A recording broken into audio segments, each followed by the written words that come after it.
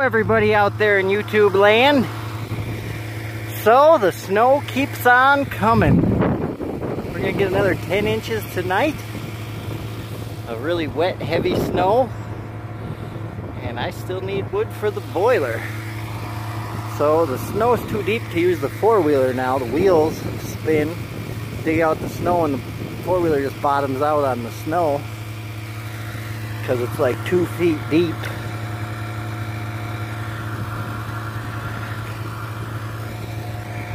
So we're gonna try the snowmobile out and see how that goes. I haven't used this yet, but I'm hoping it'll work out pretty good. I'll come back once I get some wood on it and we'll go from there.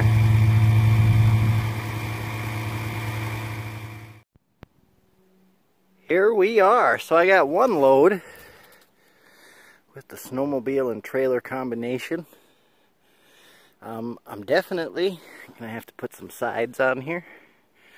I've never used it before. I got it this summer. I traded some wild rice for it.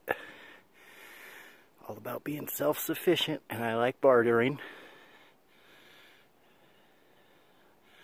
So the guy I got it from, he built it so he could bring out his ice house out on the lake and bring all his gear and stuff. So I'm going to use it for this.